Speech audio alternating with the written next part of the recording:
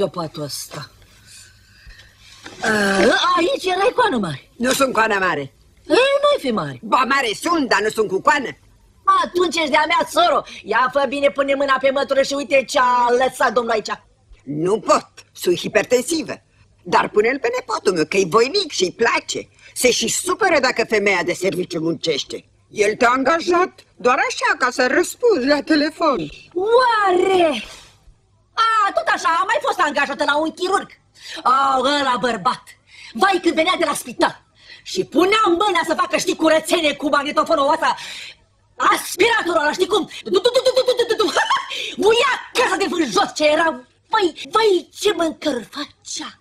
Organ, ficați, rinichi, vai de bine. Dar eu tot așa, numai la telefon. Alo? Da? E acasă? Nu e acasă? Asta era treaba mea.